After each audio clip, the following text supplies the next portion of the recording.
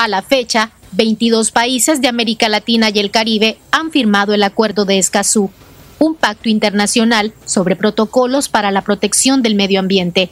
Nicaragua, además, es parte de los nueve países que hasta ahora han ratificado este acuerdo, pero en la práctica está lejos de cumplirlo, denunciaron ambientalistas. Nicaragua prácticamente ya lo depositó. Este marzo 2020 Nicaragua depositó lo que es la rectificación y la firma del acuerdo de Escazú, como lo mandata el procedimiento de la CEPAL.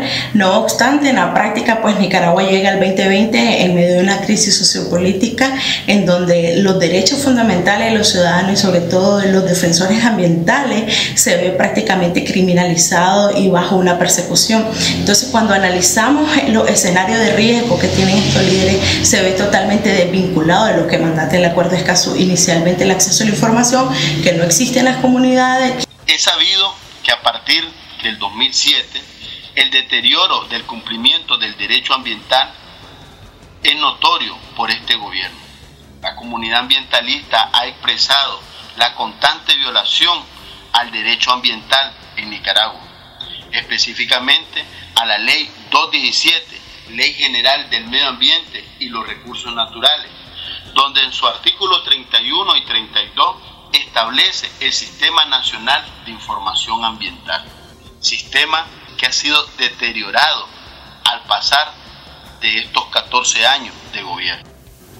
Para estas organizaciones, la intención del gobierno de Nicaragua de firmar y ratificar el acuerdo de Escazú sin tantas dilaciones no necesariamente tiene que ver con un verdadero compromiso por el medio ambiente, sino a intereses económicos. Debemos de recordar de que todos los países firmantes, sobre todo los países que, se, que están promoviendo el acuerdo de Escazú, también están considerando el tema de que el cumplir con esto te lleva también a poder acceder a créditos internacionales o procesos económicos que te pueden brindar también para poder promover lo que son sus tres principales pilares fundamentales. A partir del 2018, instituciones de gobierno iniciaron una rápida cruzada por la búsqueda de cooperación. Cooperación que ellos mismos corrieron del país en años pasados.